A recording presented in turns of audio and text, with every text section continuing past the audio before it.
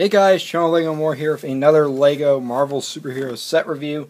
This is the Black Panther set. Set number is 76099. This is the Rhino Face Off by the Mine. It has three minifigures, 229 pieces, and it retails for $20 here in the United States. I got this at the LEGO store, so here's the packaging of the set you can see.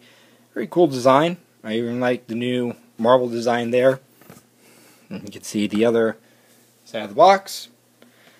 And we also get two instruction manuals. One is to build the Rhino, and one is to build the mine track itself. So you get two instruction manuals, and there's an ad for the other Black Panther set in there as well. So nothing for Infinity War, unfortunately. So let's look at the minifigures, and we'll start off with, of course, Black Panther himself. This version is exclusive. You can see he has the bit of the blue on him as well. None of the minifigures have leg printing either. You can see the back print on the torso and the head look really good. Really like the blue glow he has. and uh, this version is exclusive again. So there is Black Panther.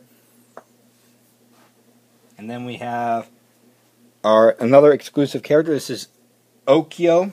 And this character is completely exclusive to the set. You can see the printing on her looks great. Love that face print. That's going to be very useful. She has a spear as her accessory, and the torso has some nice printing to it on the front, and you can see the back of it. So there's Okoye. And then our last figure we have is Killmonger. And this guy, this version is exclusive. We got one with that really cool mask in the um, the Talon set. This one has the Jaguar design, which look which looks really good with the pearl gold or just the gold in general. Looks really cool. He does have the same headpiece as Black Panther. There is no printing on the headpiece, unlike the Civil War version. So we get two uh, builds in this set. We have this little Rhino vehicle, and then we have the uh, mine track here. Um, so the mine build is pretty small. We can see here, um, which I'll remove the mine cart in a second. You can see the design of it looks really cool. Um, you do get two straight track pieces, which are the newer roller coaster type pieces, and is a cheap way to get these pieces. You have some nice trans blue slopes throughout as well, and some dark blue. Then you also have the minecart, which has the vibranium, I think that's what it's called, which are these trans uh, blue, light blue 1x2 plates, and they fit right in there. And you can see the build of it is pretty cool. I like the build of the, uh, the minecart. It uses the uh, armor piece from the Nexo Knights um, armor, the uh, battle suit armor. Yeah, the battle suits. And what's really cool is you can move around on here the minecart. So the function is you push this right here down and you put the minecart there. And what you do is you push this down and you're supposed to make the minecart explode. So that's pretty cool. Nice little play function there. And again, just a nice little build. I like the build of it uh, for sure. I think it's a very unique build and there are some great pieces to it. So let's look at the Rhino mech itself. So you can see the Rhino mech is very interesting. It looks kind of like organic like in a way. Um, it's very different from what we saw uh, from the Rhino tribe in the Legends of Chima theme from years past. You can see the legs are the same mold as the Luggabeast from the Encounter on Jakku set from Star Wars back in 2016. You have a little tail here in the back. You have some sticker designs for uh, the printing on, or it's really stickers for the designs on the Rhino mech. You could sit a minifigure on there, which in this case we could put uh, Okoye right on there, and she fits right in there.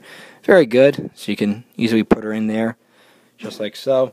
You have some stud shooters on each side, which you can fire off, and you can also pose the legs in pretty good ways. Um, can't move them 360, but you can pose it in many good ways on each side. You can move it around.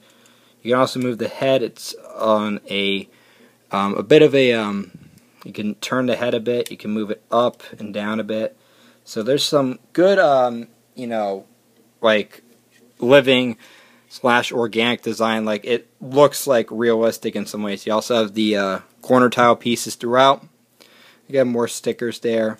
The head looks really good. Like the Rhino kind of looks bulky there. Um, this is probably the weakest part. I think the design of it is just not as good. It looks very square compared to the rest of the uh, Rhino. But yeah, really interesting design and something we really haven't seen done with Lego. So I do like the uh, uniqueness it has in a way too.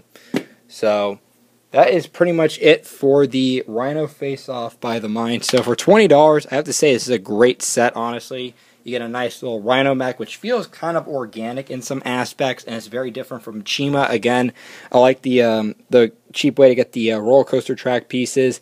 And also, I like the minecart design too. is pretty interesting and unique as well, and something different we really haven't gotten.